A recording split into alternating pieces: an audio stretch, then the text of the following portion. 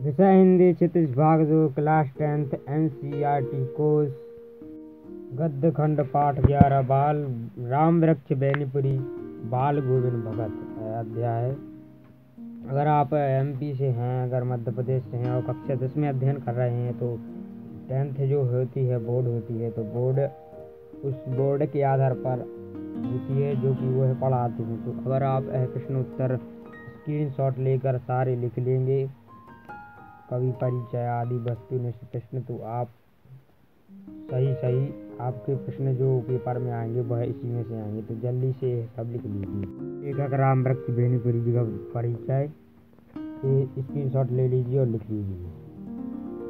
अब है रचना, उनकी कौन कौन सी रचनाएँ हैं? उपन्यास, कहानी, संग्रह सब कुछ लिख लीजिए। वीडियो रोक कर आप लिख सकते हैं। राम वृक्ष बेनीपुरी की साहित्यिक विशेषताएँ भी लिख लीजिए। भाषा शैली यह भी लिख लीजिए स्क्रीन शॉट ले लीजिए। ये सब भाषा शैली का है। ये पाठ की भूमिका उसमें क्या बताया गया है पाठ में? शॉर्ट ये वस्तुनिष्ठ प्रश्न सही विकल्प चुनिए। तीसरा, चौथा, पांचवा।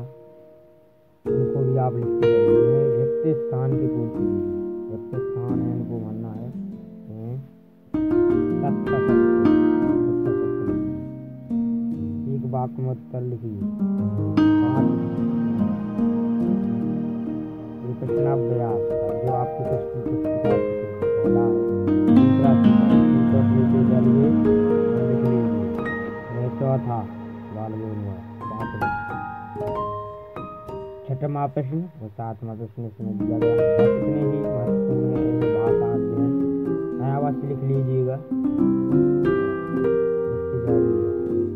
स्क्रीनशॉट लेकर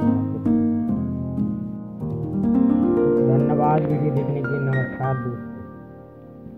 आपके लिए इसी प्रकार प्रत्येक विषय अध्याय के संशय उत्तर जो कि बोर्ड एग्ज़ाम में ही आएँगे।